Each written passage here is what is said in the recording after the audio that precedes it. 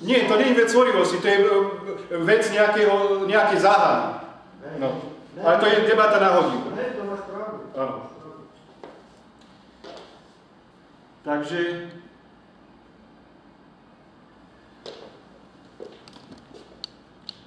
vznikla tu určitá situácia na, na, tejto, na tejto našej púti. V dobe, keď sa e, komunizmus začal pretavovať na kapitalizmus, e, tak e, to ešte Havel nevedel. Jednoducho myslel si, že zvíťazil. Ale jak sme si povedali, socializmus ako systém je lepší ako systém kapitalistický, tak tieto e, ich atribúty, e, ktoré nie sú atribútmi dogmy, ale atribútmi možno toho socializmu, tak e, sú tu pevne zakotvené a sú megalománske. Perestrojka. Bola to serióznejšia kniha ako všetkých kapitalistických katolíkov. E, to neznamená, že je potrebná. Bola serióznejšia len. Lebo žiadna dogma nie je dobrá, ako sme si povedali. Ale jeho snahy boli e, dobré. O čo tam išlo? V skrátke. Išlo tam o to, že bolo povedané, že e, keď niekto zneužije moc a, a začne a, a bude korumpovať, korumpovať spoločnosť, tak dokonca sa žiadal aj trest smrti. Ďalej. Chcel šetriť. Už, už nechcel robiť nejaké, nejaké e, plachty e, presno, presnomov, presmotánku a, a pre politikov a pre ekonomov. Chcel šetriť. Rovnako chcel vyriešiť administratívu, e, plitvanie, telefonovanie, alkoholizmus a tak ďalej. Nebudem všetko menovať. Proste chcel zmoralizovať spoločnosť. Samozrejme, v duchu jednej strany je to nezmysel, je to nepotrebné. A je to proti prírode. Takže tu je konflikt serióznosti a neserióznosti. Prečo som tam dal slovo apostáta? Apostáta som si prevzdial z dejín. Keď vznikal keď vznikalo kresťanstvo, teda katolictvo, kresťanstvo bolo až tu, keď vznikalo katolictvo, tak robili presne tie isté barbarské veci ako komunisti na začiatku. To nehovorím o Mojžišovi, to sme si povedali, že tam kantril oponentov. Bol tam jeden budúci cisár. Takto, katolíci vyvražovali pohanov, doslova a do písmena. Vyvrážili celú aristokratickú rodinu, ostal z hodov okolností jeden chlapec na život, e, pri živote a toho vyučoval jeden pohanský filozof. Takže tento človek tento človek mal, e, mal v sebe, vo svojom vnútri, pohanské e, múdrosti a snažil sa, keď sa dostal k moci, Snažil sa, aby, aby všetci ľudia e, povolil stavať chrámy pohánske, kde sa vyučovalo pohánska, teda pohánska múdrosť, hanlivo nazvané teda pohánmi, teda katolíkmi. A zároveň dovolil vyučovať aj katolictvo, ich dogmy. Čiže vytvoril prostredie, univerzálne, vytvoril prostredie, aby, aby e, ľudia sa dostali k celej múdrosti. Ale to katolíkom nevyhovovalo. Keď išli do boja, tak ho odzadu zabili a potom nastal tvrdý, inkvizičný, katolícky monoteizmus. Tak, ako to robili na začiatku komunisti. To je aká historická postava? Áno, historická postava. Uh, Julius Apostáta.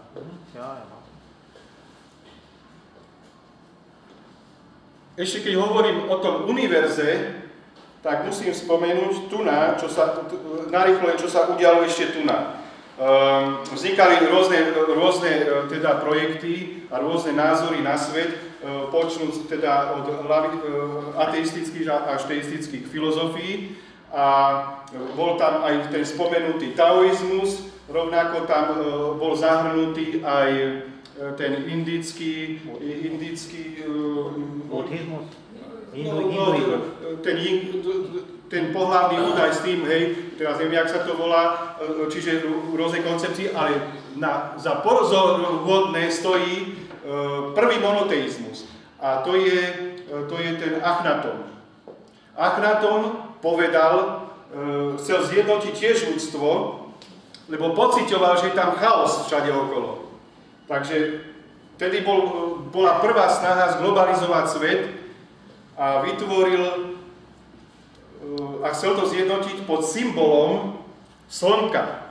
Zdánlivo, zdánlivo je to u, u, u kresťanov, teda je to, je to ako niečo pohánske, niečo hánlivé, niečo, niečo hlúpe, hej, ale v skutočnosti nešlo o slnko ako také. Išlo o to, že slnko svieti na všetkých rovnako. Na všetkých rovnako a vyhlásil úžasnú vec. Povedal, že faraón musí slúžiť ľudu. To dovtedy nebolo. Dneska sa o to snažia títo schizmatici a tvrdia, že poslanec má slúžiť ľudu, ale neslúži. Asi, nemá, asi im chýba to slnko.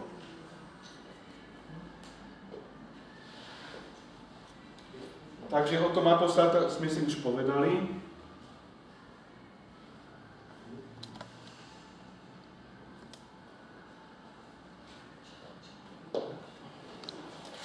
Tak tu nám máme, tu nám máme zase si robili uh, po páde, uh, po páde alebo respektíve podknutí komunizmu, si ro, robili uh, srandu z ideológie a, a je, preto tu je, tu je bola, kedy komunizmus vládol školám a univerzitám, hej, tak zhodili ho na zem.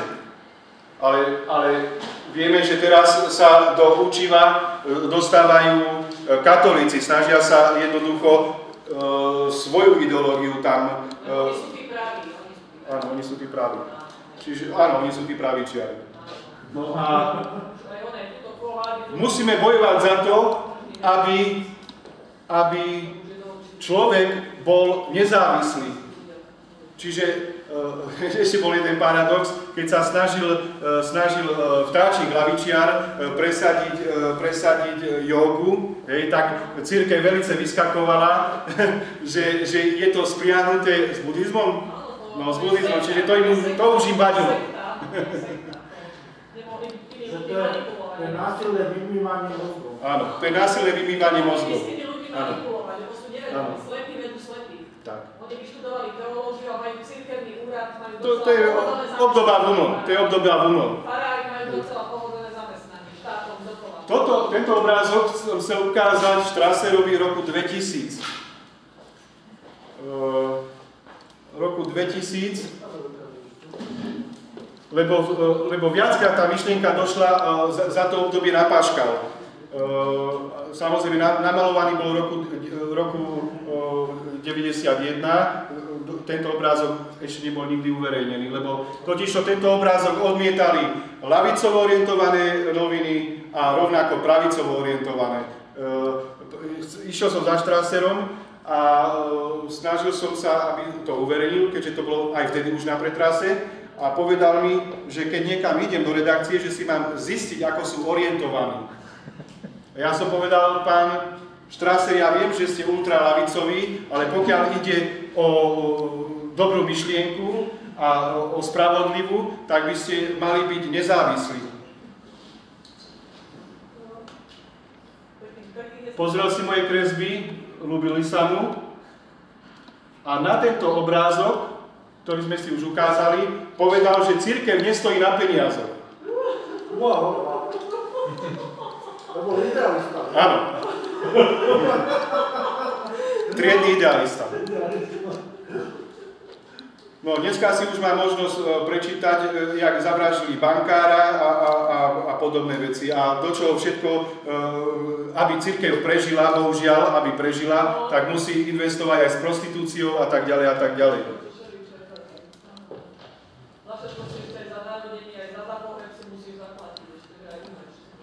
Takže, takže musíme, aby, aby vyrástol slobodný a nezávislý človek, musíme mu podať najskôr univerzálne myslenie, univerzálny pohľad na históriu. Ja si myslím, že ten obrazok je fakt univerzálny. Áno.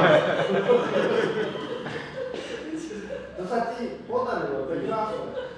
Ešte tam chýba, e, chýba teda náruč, náruč tej ženy a siamské e, opice, ktoré jedno sa prikloní na jednu stranu a druhé sa prikloní na druhú stranu.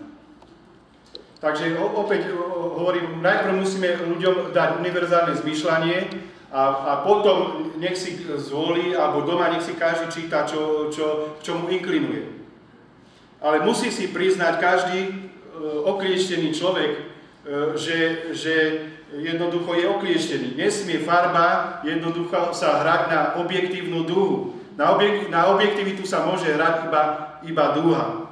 To je ten problém, že oni nechcú si títo dogmatici priznať, že sú vlastne pod duhou, že, že niečo, niečo väčšie a univerzálne a nekonfliktné je nad nimi. Pápež je náhrada Petra Svetého. Náhrada Svetého Petra. No, takže ľudia potom, e, keď sa menil režim, vyzerali takto. Proste e, priakali, e, kombinovali e, rôzne teórie a z jazyka potom mali anarchiu a rizek. Čiže takto potom vyzerá človek, ktorý nemá utriedené, utriedené názory a nevie, čo je pravicové, nevie, čo je lavicové, nevie, či kapitalizmus je dobrý alebo socializmus, proste má, má v tom chaos. Toto, ale to je prirodzená ľudská vlastnosť, myslím, že väčšina národa by sme boli totálne dezorientovaní. To si musíme priznať. Áno, ja netvrdím. To je ale to normálne. Že, že človek miliardu informácií sa na nás takto valila, vieš, nových, ktoré sme v živote nepočuli a zrazu my sme boli dezo. No, my si nevedeli, čo si máš mysleť. To je normálne. Prečo? Je. Ale niekto to musí ujednotiť. No, lebo, lebo vtedy to bolo, dá sa povedať, že ja neviem, strašne veľa ľudí to trvalo a bolo to priznajme sa, že väčšina obyvateľstva, že boli sme tak. Ten čas bol taký istý aj teraz. Áno. No. No, dobre, ja súhlasím. Ďalej tu máme, máme tu pád Berlínskeho múru. Pád Berlínskeho múru, síce Berlínsky múr padol, jeden konflikt a ostal tu ten väčšine v nás zakodovaný. Tu sú tu sú nacionalisti, komunisti, katolíci a kapitalisti. Ten múr sa ešte nepodarilo rozbiť.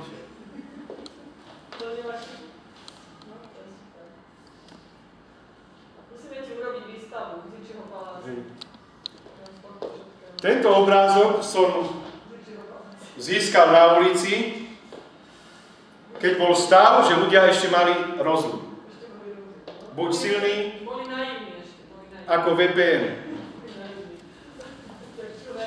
No, tu ide o to, že, že každá moc, keď sa rúca, tak nastáva stav, ten, tento bod, tento bod. Samozrejme tých revolúcií a Francúzska a tak ďalej, tiež nebudeme si to tu na, uh, toto je hlavná osa, ale tých, tých výkyvov tu na, hej, uh, v tých pyramidách je viacej aj francúzska revolúcia dospela presne k tomuto istému bodu a rôzne iné revolúcie dospeli presne k tomuto bodu. Lenže ho nedokázali uchovať, nepoznali e, jeho obsah. Dodnes ho nevedia. Takže k tomu obsahu, k tomuto, respektíve k tomu vedomému univerzu musíme ešte len dospieť.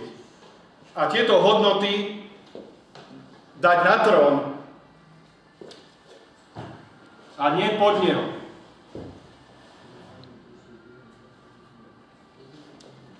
Takže tu nám máme VPNOF, to iba, to iba spútava to, čo potom vytvorili široké lakte ateizmu a teizmu. Čiže Havel nedospel k žiadnej novej vízii, len kopíroval to, čo je na západe. Normálne sa podoba.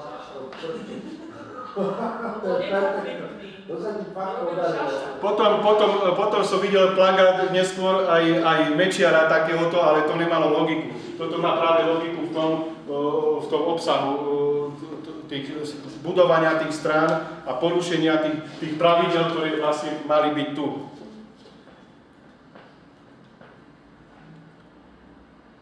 Hovorili na komunistov, na komunistov hovorili, že prevre- prezliekajú kabáty.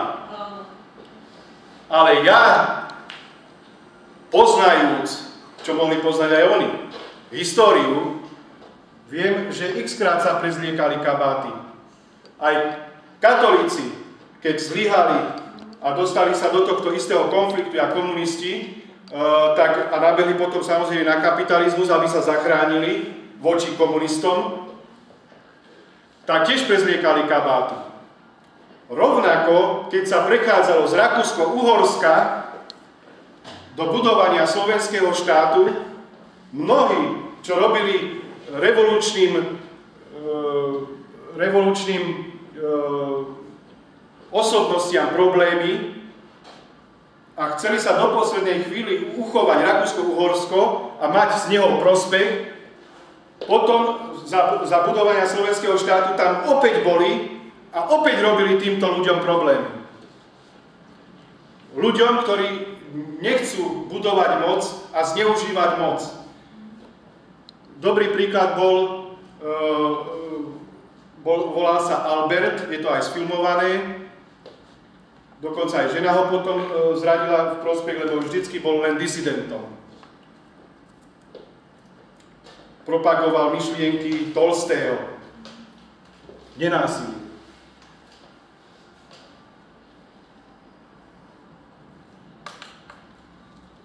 Hovorili, hovorili, že do, do ekonomiky nemáme pliesť morálku. A vytvárali určité pa- paragrafy v prospech podnikateľov a v neprospech pracujúceho ľudu. A každému som tedy rozprával, že aby rozmýšľal,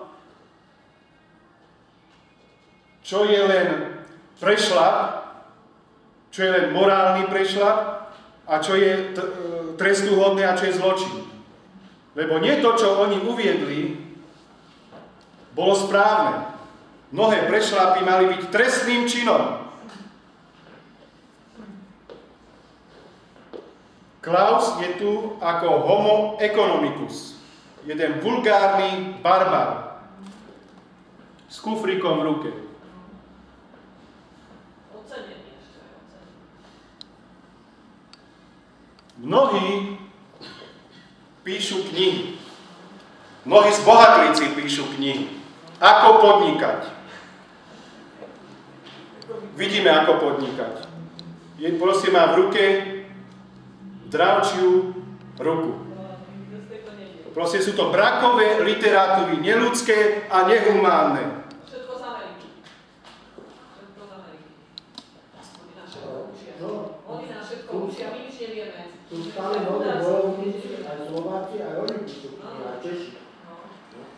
Všetko Američania nás učia, my nič nevieme. Vieš, akí sú úspešní. Povieme si ešte jednu zvláštnosť.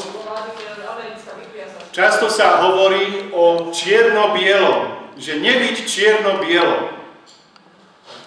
Tak jak sme si hovorili, čierno-bielo je tuna. Tuna je šedá, ktorú musíme dosiahnuť. Čierno-biela, čierno-biela. Katolíctvo aj komunizmus nie je čierny, ale je čierno-biely tak, jak e, ich, ich oponenti.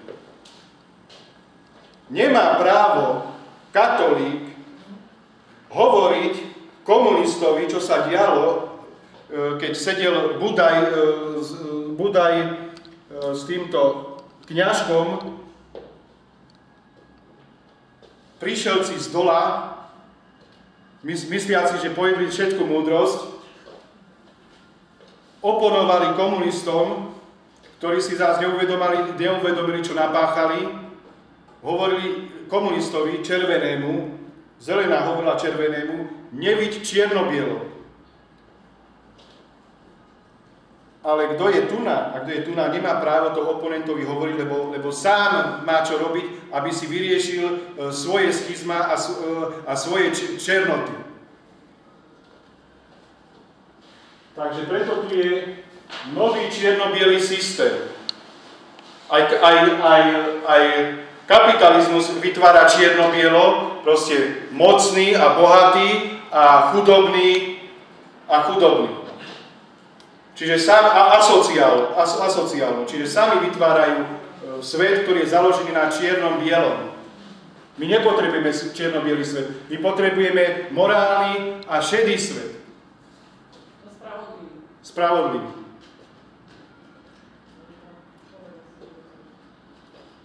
Napríklad, prečo nemajú tieto extrémy zmysel pre spravodlivosť? Jak sme si tam aj tú spravodlivosť už ukázali. preto nemajú zmysel pre spravodlivosť, lebo v duchu toho, aby uchovali moc nad ostatnými, bojujú proti iným názorom. A za každú cenu im je milší ten vlastný zelený alebo červený schizmatik, ako tá stredová pravda, alebo toho, pravda, e, toho biela pravda toho oponenta, extrémisty. Čiže povolujú zlo vo vlastných radoch, keď je ich. Ale stred a šed sa tak nespráva, lebo nemá komu strániť. Bude niekto zlý alebo, alebo, alebo dobrý. Dobro sa samozrejme v zákonoch v zákonoch e, neodmenuje, odmenuje sa tým, že, že je harmonická spoločnosť. Ale zlo sa musí, e, musí trestať a každé zlo, bez ohľadu na to, ak, akú dogmu presadzuje. Respektíve presadzovať dogmu na úkor ostatných musí byť trestným činom.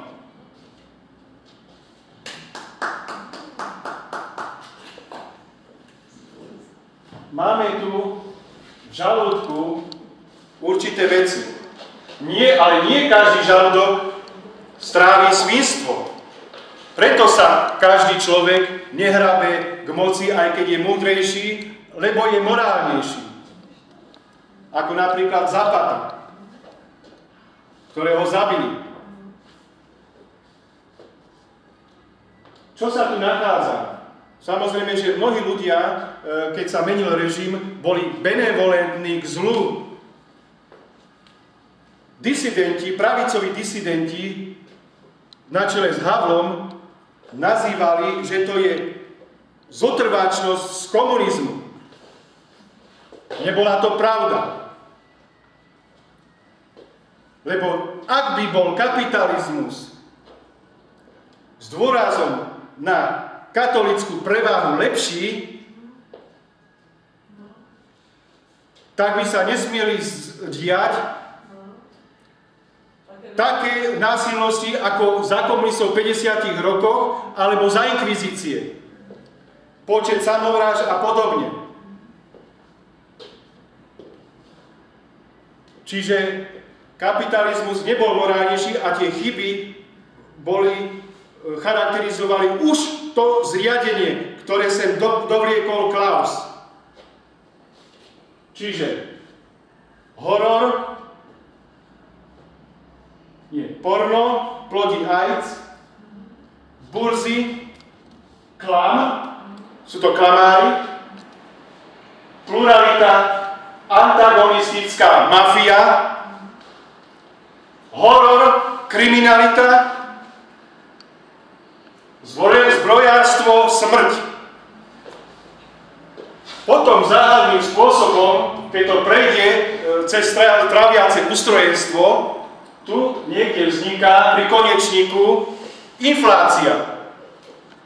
A záhadným spôsobom z, tej, z toho zadku z, z, tá inflácia sa pretaví na konkurent na konjunktúru, ako to tí ekonómovia vlastne robia. Prosím, a ty už tak do toho parlamentu to prednášajú. A z toho vychádza očistec. Peniaze sú ich očistcom.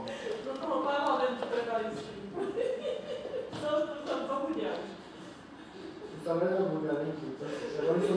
Ešte by som tu mohol veľa vecí podotknúť, ale nemáme čas.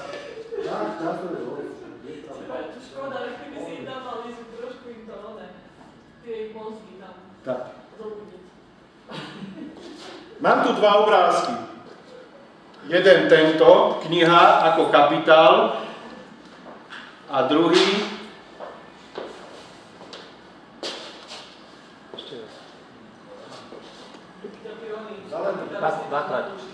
ihla. Takto. Treba si uvedomiť, že určitým e, spôsobom e, vzniká tým vývojom v tom čase kvantita aj kvalita. Čiže nedá sa všetko úplne porovnávať, lebo ako sme si povedali, 1 plus 1 rovná sa 3. Takže, tu si môžeme povedať, totiž to málo kto si uvedomuje, že aj církev symbolizuje to kríž a ihla. Prečo je tam ihla? Lebo keď si zoberieme Krista a jeho výroky, tak e, nájdeme tam aj sociálne výroky. Proti boháčom. Jeden z nich, to je len jeden z nich, ktorý hovorí, že cez ucho ihly, jak je to?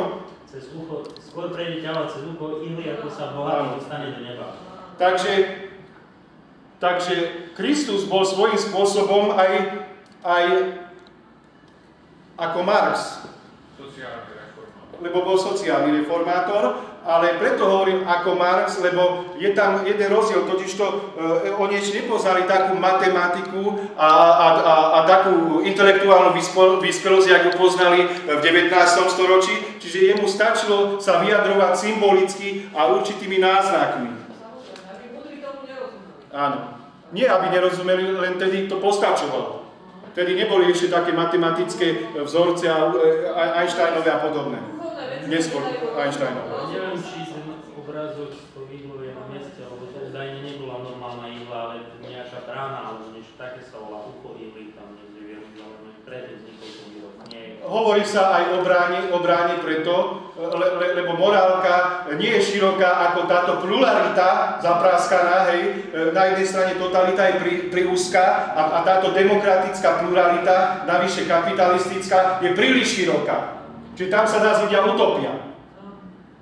Takže preto sa hovorí, uh, hovorí uh, v Kristovi o bráni, lebo on si uvedomá, že morálka není len taká uh, nejaká uh, voľná, frivolná. Áno.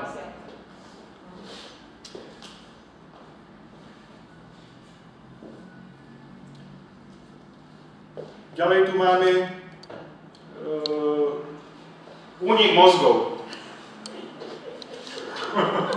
Sú ľudia, ktorí sú veľkí nacionalisti a odmietajú ísť uh, na západ a zradiť svoju vlast, hoď ži, sa im žije ťažko s holou.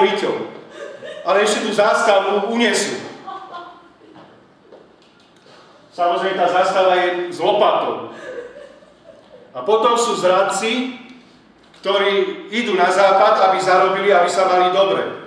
Nakoniec, kto sa nechcel mať dobre? Aj za, komuni- aj za, za e, inkvizície sa chceli ľudia mať dobre, aj za kultu osobnosti sa chceli mať dobre, aj v tejto asociálnej, asociálnom kapitalizme sa chcú mať určití ľudia dobre. Samozrejme, že uznávajú EU.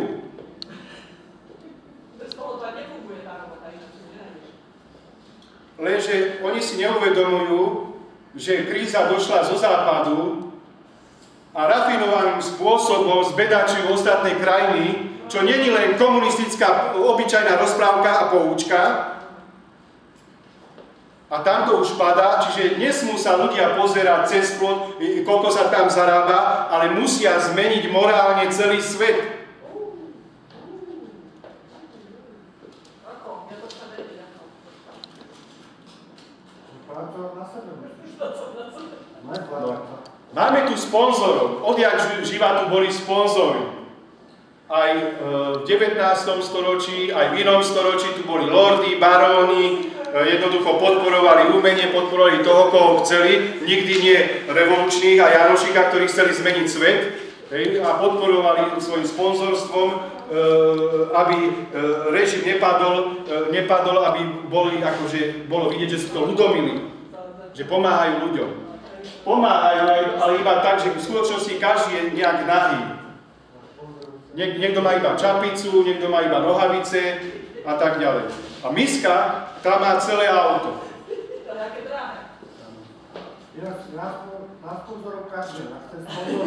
Áno, sponzorky. No a tu máme toho Zapatu, to je tiež svojím spôsobom druh Spartaka, Emilio, ktorý odmietol sa podvoriť parlamentu a preto ho parlament zabil, chcel si ho najprv tohto revolucionára kúpiť, ale sú ľudia, ktorí odmietajú, odmietajú proste sa spolčovať s vagabundami. Nech majú akékoľvek IQ. ja to bol samec, on má 60 detí. Áno? To som nevedel. Emilio, však jasné. Tak má armádu potom. Možno nášovky sa. Dobre, a potom ešte by som nehal diskusiu a potom ešte by som, čo som mal na úvod prichystané, možno kúsok len prečítal. Dobre, uh,